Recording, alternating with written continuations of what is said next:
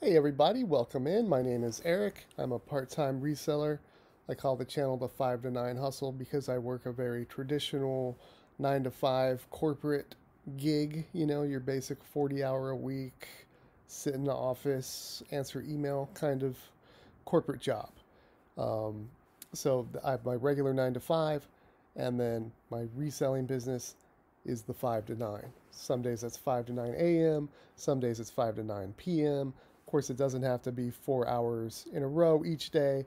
The point is that it's separate from the 9 to 5. So I'm trying to bring that kind of um, you know full-time day job, part-time res- reseller perspective to the channel. Uh, today's video is going to be a, a very quick tutorial on how to get all of your eBay listings into a spreadsheet. Oh, before I get into that though, I also like to occasionally wear some of my bad pickups in a video. You know, maybe I can bring a little little good mojo to this particular piece of inventory and someone will will come along and, and feel that mojo out in the universe and buy it. So I got this very cool King Tut looking rather too tight shirt for me.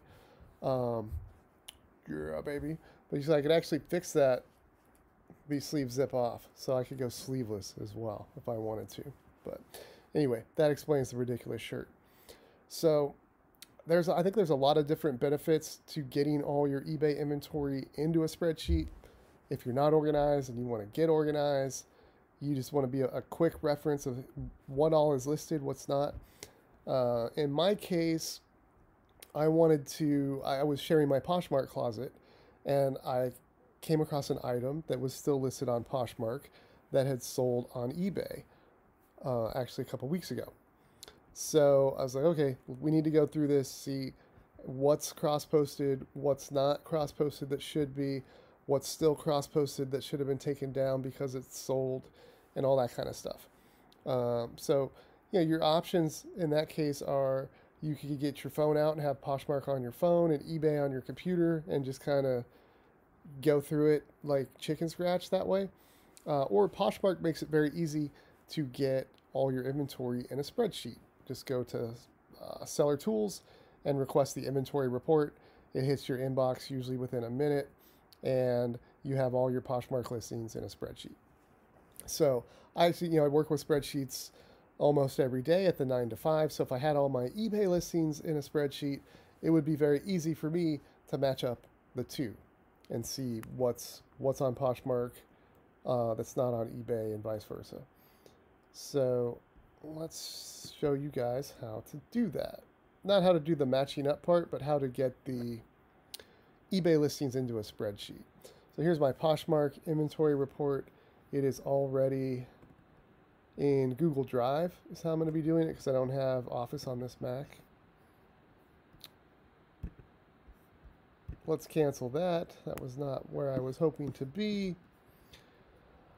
But that's okay. Uh, you know, I'm trying to do everything pretty low production value, one take. Don't want to edit if I make a mistake. We just go with it. So where you want to start at is your active listings in Seller Hub, which is where we are now. Listings active.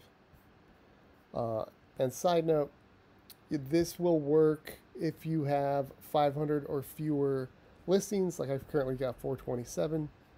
If you have more than 500, you can still do it, but you'll have to do 500 at a time and then combine the spreadsheets with, you know, copy paste type of deal. So clunky, but it's still doable.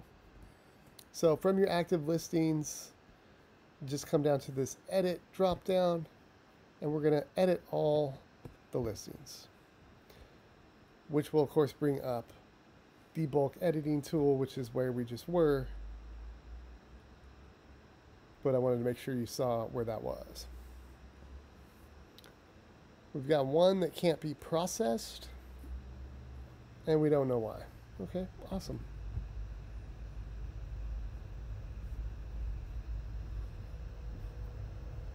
Maybe it just sold and I don't know it yet because uh, yeah, I don't know how I could provide an invalid payment or return policy. But so I've only got 426 of my 427 listings, but let's just say it worked. All you're going to do is hit the box to select everything. And then in your second drop down right here, it says action. And we are going to choose export to file. I bet you never noticed that was there.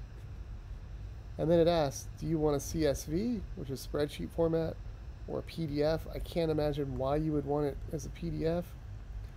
Um, but it, that option's there if you want. So export to CSV is already selected. I hit the export button. Yes, go ahead and download.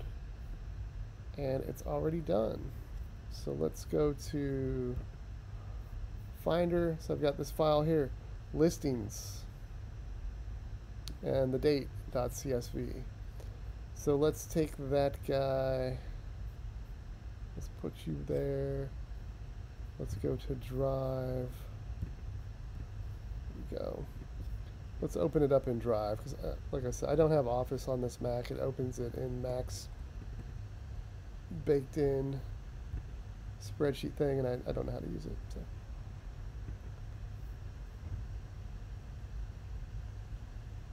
There we go. Here are all of my listings, except the one that didn't work. So you go title, item number, quantity, custom label, you got your price, you get your format, with duration, condition, so quite a bit of information. But what I'll be using, because one, not all my Poshmark listings have a custom SKU, because I had listings that existed before that Poshmark feature. Um, if they did, I would just match custom SKU to custom SKU and be done pretty easily. But what I'll be doing instead is you get the category. I do sell things other than clothing, so but I will use the category um, probably sorts. I believe they all start with clothing. There might be some weird sporting goods ones where it's like a golf shirt or something like that. Uh, but I will use sorting basically to get all the clothing items. And then they're already sorted by title. And I'm going to compare that to Poshmark where I have sorted it by brand. I start all my titles for clothing items with the brand name and I'll go through very quickly, see what's on Poshmark um, that shouldn't be, see what's on eBay that's not cross-posted yet, make a cross-posting list, and this time I'm also gonna fill in these blank custom SKUs on Poshmark and go through and edit all those listings. So next time I can just match up the custom SKUs and be done. But it's pretty easy. Get all your eBay listings in a spreadsheet using the bulk editor tool. That's how you do it. Let's go get it done.